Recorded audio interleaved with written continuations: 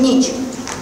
Дія відбувається на даху багатоповерхівки у великому місті. На початку п'єси Лінія для життя місце події описує авторка Марина Бортник-Гулевата. На даху в один час опиняються три жінки: та, яка втратила віру, та, яка змирилась, і та, яка продовжує боротись. Життя кожної із них тим чи іншим чином пов'язане з війною, що відкривається протягом сюжету. Розумієте, сьогодні така ніч, коли людині можуть відкритися всі таємниці, якщо вірно поставити запитання. Сценарій лінії для життя побудований на основі життєвих історій військових, що побували на передовій, розповідає авторка п'єси. Каже, мала на меті знайти з того позитив та побудувати сюжет так, аби він зміг розважити та відволікти наших захисників. Коли читала один із перших варіантів, мені здалося, була така ціла депресія, що не вдалося взагалі нічого, що я поставила собі занадто важкі цілі, що це нереально досягнути, говорити е, про війну, не говорячи про війну, підіймати настрій, е, коли теми досить важкі. Каже, не побачив позитиву в творі під час першого читання і режисер-постановник Юрій Чайка.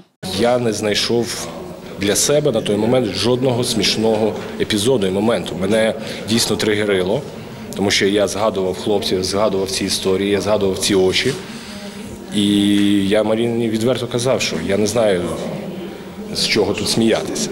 Але і режисер, і авторка побачили в п'єсі позитив, коли вона з паперу зазвучала вустами акторок. Ой, дівчата, я така рада, що ви тут обидві опинилися. Ще й такий час. Виконавиця однієї із ролей Анастасія Болюх каже, образ героїні їй відгукується. Дівчинка, підліток, е, десь трохи цей юний максималізм в ній грає. Я піду на війну, я буду е, захищати, я буду воювати, я не знаю, що робити. Я буду робити все, що тільки можна від мене залежить.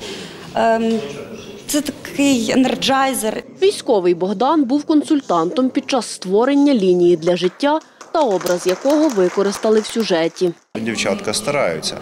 І то, що дівчатка слухали, е, про що говорили, це досвід не тільки мій тут переданий. Більшість е, досвіду збирали дівчата по шпиталях безпосередньо е, з іншими ще хлопцями. Сцену для п'єси спеціально адаптують для людей з інвалідністю, розповідає директор театру Андрій Ковальчук. Ми хочемо, щоб вона була гастрольна, щоб вона була мобільна. Декорації, які ви будуть використовуватись, вони будуть максимально складатися, максимально перевозитися, так щоб ми змогли приїхати в госпіталь.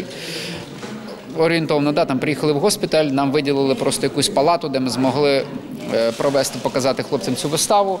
Е, Потрібно поїхали там е, на передову, словами, прем'єра п'єси Лінія для життя відбудеться 2 жовтня в холі театру Старицького на першому поверсі. Місце обране для доступності військових з пораненнями та інвалідністю. Діана Колесник, Віктор Кривий, Суспільне новини, Хмельницький.